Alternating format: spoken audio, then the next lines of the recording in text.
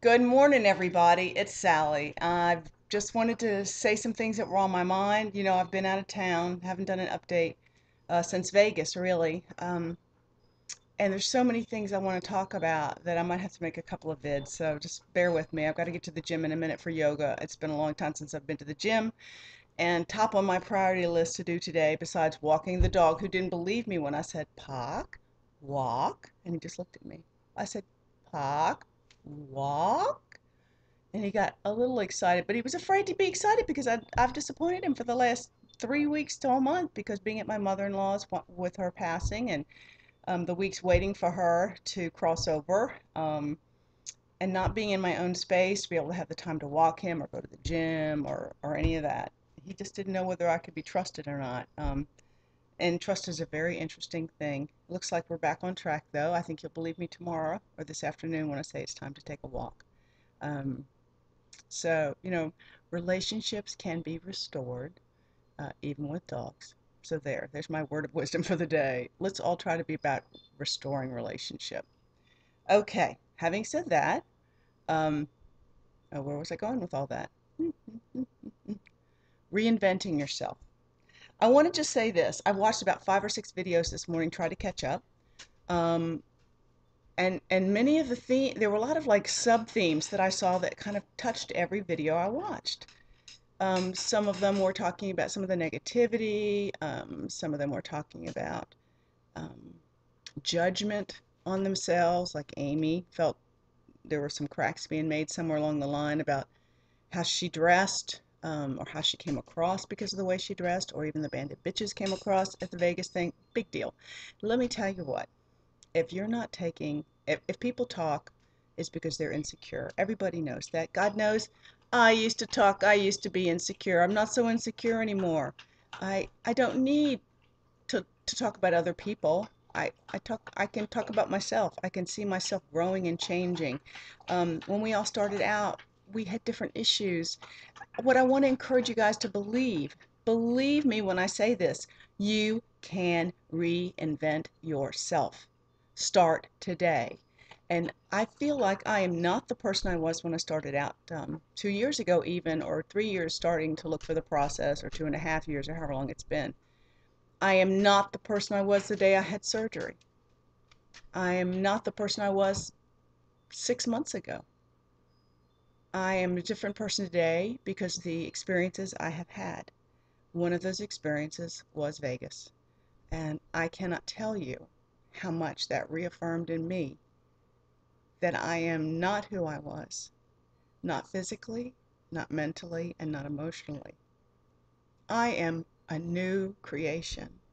I am the sum total of my life experience and the richness of the last 18 months of my journey, self exploration, introspection, um, helped me grow and change and make good choices for myself. I worked through my stuff as I walked. And I worked on my inner stuff, my insecurities. Why did I respond this way to that? Um, the choices of food, whether I crave something, whether I didn't crave something, um, giving it 110%. Everybody's got their style, but my style was I'm a sprinter. I'm an ADD type of personality where if I get excited or enthusiastic about something, I am there in a minute. And I don't know how long that interest will last until it wanes to something else and I'm distracted and go off another way. So my word to you is people, don't come into this surgery half-heartedly. Don't come into the surgery with any doubt that it will do anything but be all you want it to be if you give it what you need to give it to make it work. Um, everybody's entitled to their own style of approach. But I've seen enough to know that about six to nine months, people get disappointed and tired and quit or fall off the radar because the results are not like somebody else's or it was too hard to keep dieting. I'm going to tell you right now, this is not a diet for me. I have totally changed the way I look at food, the way I feel about food. There is nothing that I want to eat that I cannot eat. I I don't crave gross amounts of things. I, I I'm just not the person I was. I do not have the head um, the stomach in my head or the stomach in my stomach are not the same stomachs of the same person who used to live in this body. I am a changed person, a hundred, a hundred percent different than I used to be. I used to be a negatron. I used to be depressed.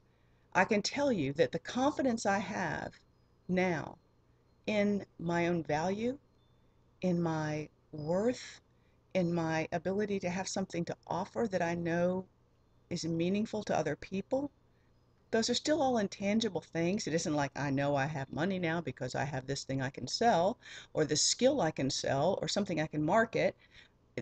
That's not what it's about. Going to Vegas for me, the greatest gift I received was being reflected back to me who people saw that I was. What a gift! You people don't even know what a gift. Oh! Anyway, hold on a second.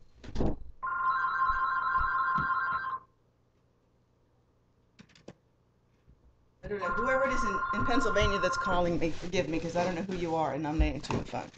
Okay. I hope it's not Tom. I don't think it is, but it could be. Could be Ed. I don't know who's calling me. Anyway. Arr. It broke my concentration. You see, I do have ADD. Um, here. There. I hung up on him. Um, the, you know, you, you only see who you are when you look in the mirror and it reflects back to you. That's a physical reflection. Sometimes you can see an internal reflection in your eyes um, and in your smile um, in the mirror. Sometimes I can see a glimmer of that energy and that light that I can exude when I just feel great about everything. Um, but in Vegas, you see who you are reflected back in the responsiveness of other people. And I don't think I've ever felt more responded to, my energy. Um, it was just a thrill to, to meet everybody. And the more people I met and got to embrace, the brighter my energy glowed, the more dynamic I felt, the more on top of the world. Um, and I absorbed all that. I took all that in. And that memory will be with me for a long time. But because of that, and because of the shout outs people have made to me, and people that wanted their picture taken with me, um, much less all the people that I got to, I wanted my picture taken with too, um, it changes you. It is healing, people. It is healing to feel all that love and acceptance in a place. And you healed me. I got my healing in Vegas, honey. I got my healing in Vegas, the final healing. And uh, I'm not afraid anymore. I'm not insecure that I have nothing to offer. I I love myself. I love my best self. I don't love my bad parts. And I don't mean my body. I mean my darker parts, the negative parts, the critical parts that I reflect out more to my own family than uh, the community. So, I, but this has given me hope that I can actually work on those things too. Um, I just want to remind you, reinvent yourself. You've had the surgery. You can reinvent your whole I had someone talking about that what they wanted to wear today. Um, on Facebook, someone had mo- commented about a dress. Did people think that was too young for them? Well, that reminded me of Amy's mom's video about her clothing choices, and and you know what? Let your freak flag fly, whatever that means to you. As far as I'm concerned, I lost 37 years of myself to the no man's fashion zone. They didn't make fun clothes when I was in 1968 when I was plump for girls. Um, there was no Torrid. Um, there was nothing. There was Lane Bryant, old matronly, crappy colored clothes that I had to be put in. I didn't have a pair of jeans till I was in. I don't even remember when I got a pair of jeans. Actually, I probably was a senior in high school, and they weren't even real jeans probably then. I think in college I had some overalls. I lived in religiously, and I did have jeans then. I do remember that. But the point is, don't stop. Um, I wear things that are fitted, and let me tell you why. Since the beginning, uh, I always wore big baggy clothes. I bought 5X shirts. I lived in my 5X, swimming around in Hawaiian shirts with a little tank underneath and my jeans underneath that because I wanted to hide my butt. Well, you know what? grow into your new life people. Make those changes every season every every quarter every few weeks. When you need new clothes go and find something and try to own the new you. It's it's okay. I'm going to step back and show you something. Y'all have seen my body. It's not like it's anything different. Okay here let me see if i can do this. Okay. All right there. I'm going to the gym. Okay? Now in vegas i looked really spindly really old lady spindly next to a lot of people. But you know what? This is what's happened to me, and I can't hide it. Now I can try to overdress my. Oh! That's my daughter. Hey, let me call you back in one second, okay? One second. Okay. anyway, um, oh gosh, I this is terrible, and I don't want to remake this video because, anyway, maybe I'll have to remake this video. Never mind. Hey everybody, now it is the afternoon and I watched my video to see if I was going to chuck the whole thing or just try to pick up where I left off. So let me pick up where I left off and see if I can wrap this up before my husband walks in the back door and I get another disruption. What was I saying? Reinvent yourself. I want you to know that I love there are things that I've done in the last year that have helped me own this body. I know this is who I am. I am not the person I used to be. This is me. This is the me I was always intended to be. This is the person with the little tiny pinhead and the big body. Well, you know what? I don't have a pinhead anymore because my body matches the size of my head. Duh.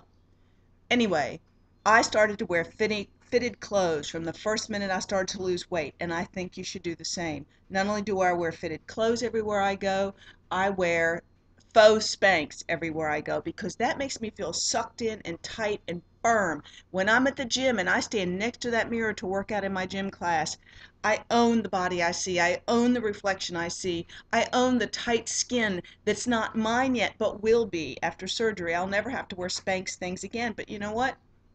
In the meantime, they make me feel fit and fine and tight and firm and all that wear things underneath to make you feel pulled together. It'll also help with the gravity issues of some parts of your body as you lose weight. Um, they are not uncomfortable. If anything, they're a bonus because when I get full, I am more full quickly because I'm wearing those things up to my stomach. That is like wearing a tight belt. It's a, something you should learn from. You should try that. Um, and and so I just really believe in wearing firmer fitting clothing every single day. I don't want to feel loose is a goose. I like to be barefoot, but I want to be tight. And um, I think that's a big, a big help. That it's been a big help to me to help own the new body and the new size of the new body. So um, that was it. I just wanted to wrap it up and say thanks for listening. I wish you all well, but don't give up and don't give in. And um, you can get there if you want to, but you can totally change who you are and reinvent yourself. I have. It's been a gradual process. It wasn't an intentional thought in the beginning. It was about getting thin. Now it's about being healthy. It's about being a, a nutritarian.